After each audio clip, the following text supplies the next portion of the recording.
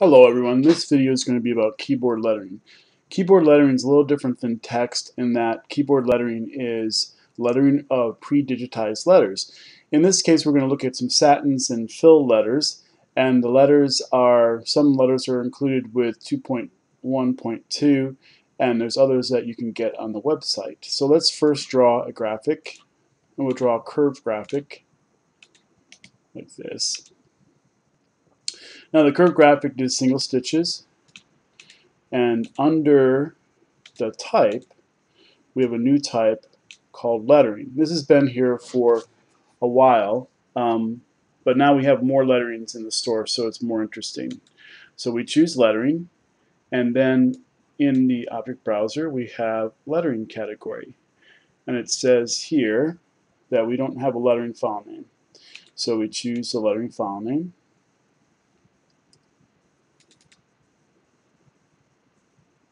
Then after we've done that, we can write some lettering. So let's just do lettering as our text. And you'll notice that now we have lettering going along this line. And when we stitch this out, you'll see that indeed it does some underlay first and then it does the letters in order just as if you would digitize your letters like this this actually is their individual embroidery designs and they follow the line. Now let's say we wanted to change the lettering spacing. We can do that by choosing spacing. So now right now um, the spacing is set to 0. We set this to a value of 10. It will spread the letters out. But if we didn't want that 10, we wanted to space them individually, we can go to where it says spacing auto, choose that. A dialog box will come up. And within the dialog box, there will be all the letters that we have on the screen. So you can see with each of the letters, we have columns here. We have the letter, which you can't actually change the letter um, in here, but you can select it. And if we selected the E, let's say, uh, we don't like the spacing on the E. The E spacing is too far away. So we can press these arrows and it will move it. Now every time it moves it, it has to recalculate. So it's not too terribly fast. So if you wanted to, let's say, do a couple different letters at once, you could, let's say we want to space a T out a little bit more. So we'll give that 10. And then we want to space the G out, let's say 10 and you notice nothing's happening to the graphic. Um, you can space, you can type in these values and hit update, and then all three of those update at once. Now let's say we wanted to alternate the color of the lettering. Basically we can do that by turning letters on and off. And so to do that, let's say we're just going to alternate blue and red.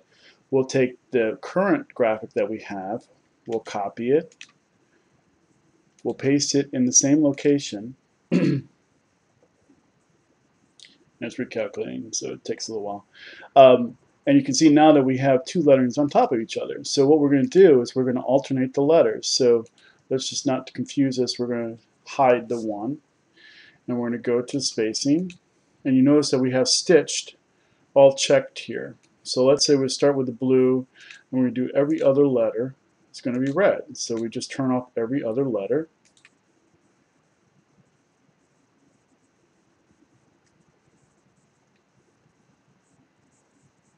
Didn't work. Turn off every other letter. Because you got to close the box. You can't say update. And then we choose the other one. And let's just change the color of this first to red. And then we'll turn off every other one on the red, but starting with the L.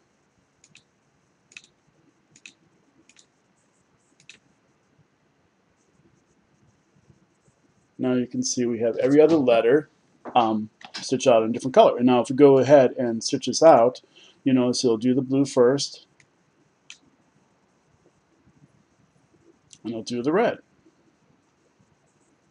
So there will be a change in colors there. You probably noticed that the lettering is scaled to the length of the line. So if we were to change the scale of the line, and we have both graphics selected, you'll notice that the lettering changes size. So sometimes you don't want that. You want to actually set the size yourself. So under lettering, you can see there's an option to fit to line. Now, if this is a typical lettering that can scale, it'll say true here. If it can't say, if it can't scale, it will say false here and you won't have this fit to line option. But we'll change this to false. And then at this point, we basically can change the scale lettering. So let's say we just want to scale it one to one as it was drawn by me in embroidery design. That's the way it was drawn. Now we can just double the size and it'll go off to the end of the line, you'll notice, because it just continues going because instead of scaling to the line, it just goes off the end of the line. There are some letters that aren't scalable, and so we're going to change this to all capitals because I have a lettering that is all capitals.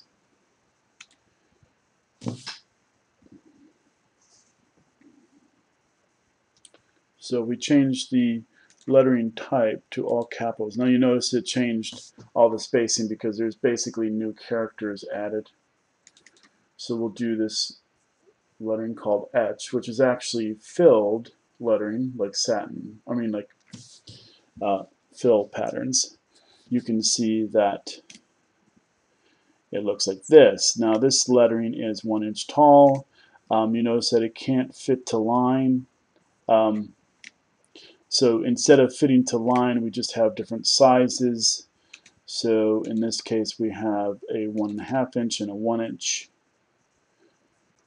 So let's watch this stitch out. So you'll see that it's just like other fills that you would design yourself with underlay and various section ordering.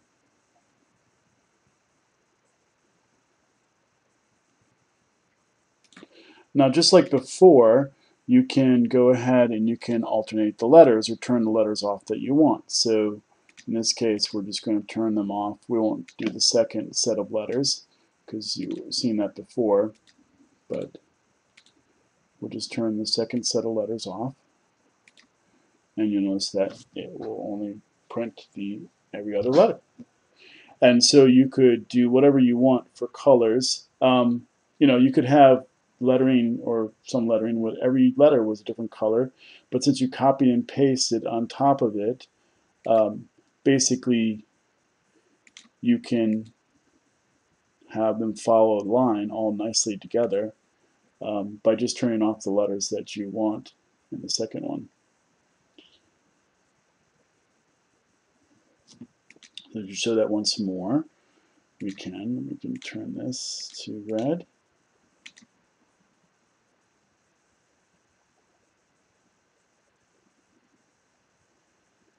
And we can turn on the ones that we don't have on on the other one.